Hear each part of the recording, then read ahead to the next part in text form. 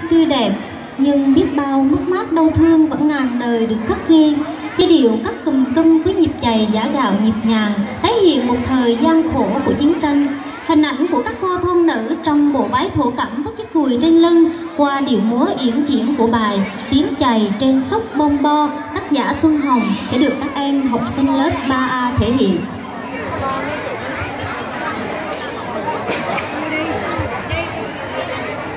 em em được đây sẽ kháo cô.